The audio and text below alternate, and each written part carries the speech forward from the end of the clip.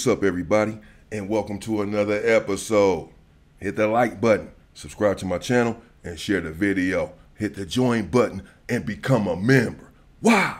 Well, members get exclusive content. Hit the bell icon on my channel so that you'll receive a notification every time that I drop a video and you can go and check the video out. If you have not subscribed to the channel, please do so. Subscribe to the Inside Story with me, Damion Porter, as we always go inside the story. There's normally a story inside of the story. And we try to go in there and dig deep and dig it out. Let's get into this story, and it takes us to YTS, Youth Training, uh, where I did time at. I paroled in January of 1994. And I was on uh, K&L and Heavy D from Grape Street, Watts Crip, was on C and D. Heavy D got that name because probably because he resembled Heavy D physically, the rapper Heavy D who passed away. He resembled him. Uh, in fact, Heavy D, this Heavy D, was a bit bigger than Heavy D. But everyone in YTS liked Heavy D from Grape Street Watts. He had a lot of juice with all of the police. He was selling cigarettes in there. Cigarettes were illegal in YTS. And it was the currency. If you had tobacco, if you had cigarettes, was selling cigarettes, you can make a lot of money.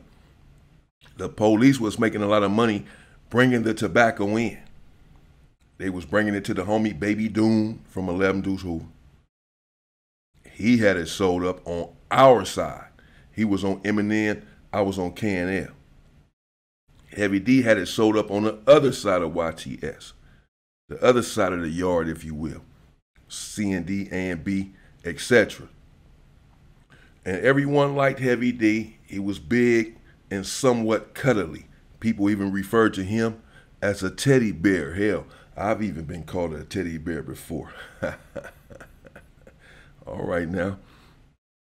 And Heavy D got along with everyone, always had a smile on his face and a positive word to convey to you. And this is why people took an affinity to Heavy D. Always in a good mood and didn't appear to have any violent tendencies whatsoever. And he was making a lot of money selling cartons and packs of cigarettes. He would sell you the carton, you can break it down and then sell single cigarettes. He'd get a police there cut. He began to have dealings with a dude from Pueblos. I cannot recall his name. I was thinking all morning of the dude name. I don't remember, but he was on C and D with Heavy D. And the dude from Pueblos, uh, everything that I saw about him, he seemed like a stand-up and strong dude. He was light skinned, had little curly hair. Uh, he was mixed or something. Tattoos, but he seemed like a, a, a stand-up individual. But you don't know someone until you know them. Heavy D began to deal with him and give him cartons of cigarettes and let him sell it and bring him back the money. But Heavy D had this going on with a few people on the yard or in YTS because he had so much coming in. Heavy D had everything in his cell that you can imagine. He even had a VCR at one point, and he used to be in there watching nasty movies. And he would pass it around to some of his homies and let them watch some of this stuff sometime. And everything was okay there on C and D. One day, the police hit the dude from Pueblo's cell. Now, the dude from Pueblo's had been getting into it the police for a few weeks. He had an infatuation with one of the women that was there. One of the staff members that worked at YTS. And at first, I believe they did have something going, but eventually she cut it off. Told him there can be no more. Well, It was too much for him to bear. He can he continued to go at the woman, sending her letters, kites. Essentially, it seemed, as far as she was concerned, harassing her. So, the police had had enough and wanted to send a message to Pueblos. You have to stop. We understand you may have had something going with her before. The police even knew what was going on. But it's over now. She doesn't want anything else to do with you. Let it go. He apparently could not, and the police hit his cell so as to send a message. And when they hit his cell, they ransacked his cell. Now, typically in YTS, the police do not search your cell. They come in every day at about 3 o'clock. You step out, they go inside and hit the back window. They used to always just hit the back window a couple times, I guess to make sure that you were not trying to escape.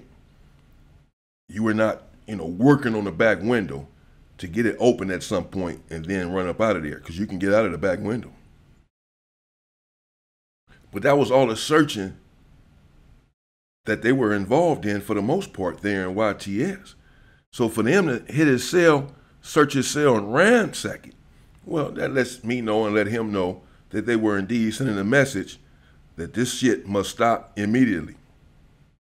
After the police ransacked his cell, he later told Heavy D that the police took the cartons of cigarettes. By now, Heavy D had began to invest in him and give him more and more and more. I brought you stories like that even recently, where once you're dealing with someone, they tend to increase what it is that they're giving you because now they're trusting you. And then you end up stabbing them in the back. I don't know the, all of the particulars with this situation. I was on K&L. But I do know that Heavy D said, well, this is asinine. Po- Heavy D talked to the police that hit his cell. The police that hit Pueblo's cell happened to be one of the police that was bringing in the cigarettes for Heavy D. The police saw the cigarettes there. He knew that he had been bringing them to Heavy D and that Heavy D deals with a lot of people in the unit and had been dealing with Pueblo's and that more than likely this was Heavy D's tobacco meaning it was also the police officer's tobacco. This was his money. He left the tobacco, the cartons of cigarettes, right there. He never touched none of them. No other police did either. This is what the police are telling Heavy D. No, sir, we did not touch the tobacco. We know that it was yours. Hell, I'm the one brought it in for you. Why would I do that? We just wanted to send him a message to leave her alone. We took some other stuff, but no contraband. Like they took his TV and stuff that was legal, stuff that he was allowed to have. Again, just to irritate and aggravate him and send him a message. But they left the contraband, according to the police. They did not touch the tobacco. Heavy D, well, he's up in arms now, feeling like this dude is trying to play him. Heavy D took that information to Pueblos. He first let the Watts car know what was going on. That this dude was playing him for a fool. The Watts car had his back when he went to Pueblos and told him what the police had conveyed to him that your propensity to be mendacious is astounding. You're lying. The police did not touch Nan's cigarette inside of your cell. I need my money and I want my money and I want it now. Or give me back my tobacco. Pueblos insisted that the police had ransacked his cell and taken the tobacco along with some other stuff he said that he had in there that was contraband. He said they took all of it. But again, the police was telling Heavy D this was far from the truth. Heavy D surprised everyone by saying he needed to squabble Pueblos and squabble him immediately. Now this was this was indeed a surprise. Not because I thought Heavy D was soft, big, and cuddly, but because he didn't seem to have a violent bone in his body. he just seemed so cool with everyone. And he was. However, I was beginning to learn even then that every man and woman has their breaking point. Everyone has boundaries, certain standards that you cannot cross. Pueblos had crossed the line, lying to his face, and essentially saying that he had no money for him, that you're going to have to accept what I'm telling you. The police took the tobacco, bro. The police set up the fight. Said that they can squabble up in the day room. Everyone knows what's going on. Everyone. That Heavy D didn't gave Pueblos some tobacco, and that Pueblos more than likely still has it, and it's not trying to pay. The police and YTS, again, I've already brought you situations where they let people fight. And so they let them go inside of the day room during day room. Everyone is there. They move the chairs out the way. Again, Heavy D is a humongous human being. Pueblo's is not small in stature, but he's nowhere near the size of Heavy D. I've heard people say all of my life, the bigger you are, the harder you fall. But I believe the harder, the bigger you are, the harder it is to make you fall. And people say that size does not matter. But I disagree. If it's a fight between Shaquille O'Neal and Kevin Hart, I'm taking Shaq every time. I'm sorry. I'm to take my chances with, take, with putting my money on Shaq Diesel not Kevin Hart. So size does matter. And Heavy D has a lot of it. But Pueblos, he's no coward. And so he said, okay, fine. If you want to squabble over this, that's fine. I'm telling you, I don't have the stuff. The Damus did not get involved. The other, the rest of the watch card did not get involved. That was between them two. It was personal. And it was not about to be a melee over that situation. They everyone was just going to allow them to hash it out. They entered the day room, and everyone got out of the way. Heavy D threw up his dukes. From my understanding, I wasn't there, but it was confirmed by everyone what happened. everyone was talking about it the next day, and for days and weeks thereafter. Heavy D came inside of the day room with a tank top on, ill fitting, and some shorts on. He was ready for a squabble. And he came inside of the day and he threw his dukes up and said, Let's do it. Pueblos, he threw his dukes up, and Heavy D, he rushed towards him. He was moving kind of slow from everyone's estimation. And Pueblo swung first before Heavy D, Big Ass could even get a swing off. And he hit Heavy D about the face area. This only angered Heavy as he approached even more rapidly now. And got his hands on the dude from Pueblo's and embraced him in somewhat of a bear hug, put him in a full Nelson. He had been watching the WWF and had learned a few moves and he knew how to use his uh, considerable weight against a smaller opponent. And he wrapped his hands around Pueblos and slammed him to the ground. And when he slammed him to the ground, that dazed Pueblos some. And then Heavy D got up, breathing hard already. Got on top of Pueblos and began to pummel him somewhat about the face area.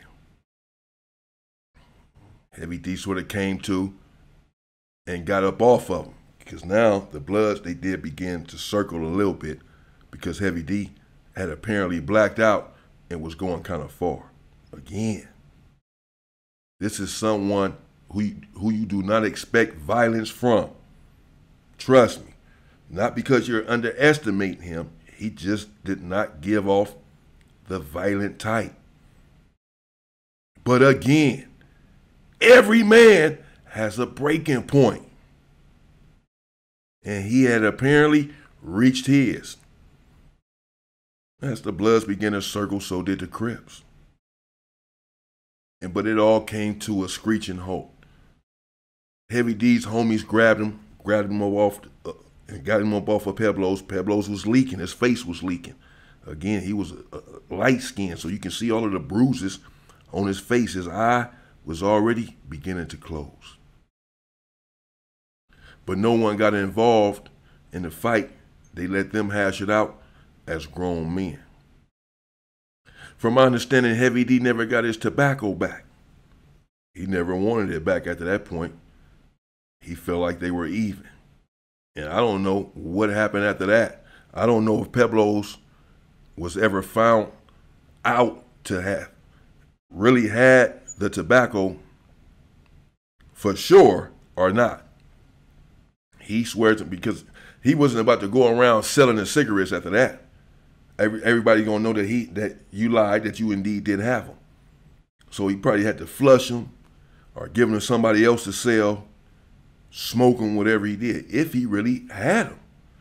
Heavy D, I don't know, I wasn't there. Heavy D is convinced that Pueblos had the tobacco, that he did not lose it in the search. I don't think he's just going off, merely going off of the police word, but maybe he is. He does have juice with the police. He may believe what they're telling him because they're the ones bringing it in for him. He has all kind of stuff going on in there. So he's taking their word that they did not go in there take his product. And Pueblos is, again, continuing to say that they did indeed take it. He has nothing. And all hell broke loose. Uh, Heavy D didn't believe him. So he sort of pummeled Pueblos. He, he got the best of him, bro. He's a big dude. He sat on top, he wrestled him to the ground and then sat on top of him, breathing hard and was swinging slow. But I'm sure they were powerful and heavy hits, powerful punches. dude was he was leaking, bro. Pretty bad. But no one felt bad for him because everyone had love for Heavy D and it felt like Pueblos was trying to take his kindness for weakness and that whatever happened, he had it coming. I don't know. y'all let me know what y'all think in the comments. Was Heavy D right? Taking the police's word that the dude still had the tobacco? Or should he have took Pueblo's word that the police took it? You know that they searched my cell, they took it. And left it like that? I don't know. What do y'all think? Let me know. And I'll be back. And in the meantime, Stay free, people.